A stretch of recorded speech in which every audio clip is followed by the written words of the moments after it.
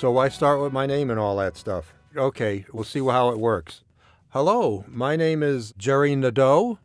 I'm with John Banvard. And I was born in Brooklyn, New York. No, no, no, no. You got to say your name and everything. Hello, my name is.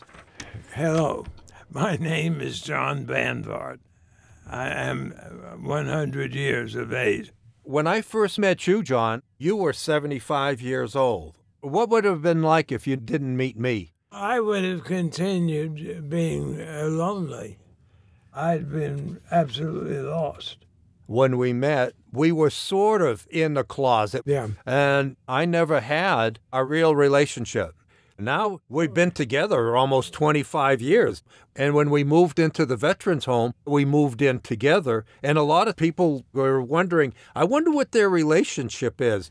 Yes. Well, when we got married, they knew what our relationship was. I was expecting we'd be ridiculed, and there was very little of that. We got married at the veterans home, and we said, if you came to see the bride, you're out of luck. Do you remember that? Yes, of course. It was very informal. It was done simply, yes. We served hot dogs, which is hardly wedding food.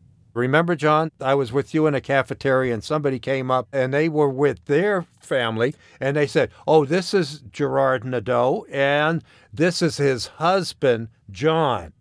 I never heard that before. Yeah, that was very nice. You've made my life complete. I could say the same thing to you.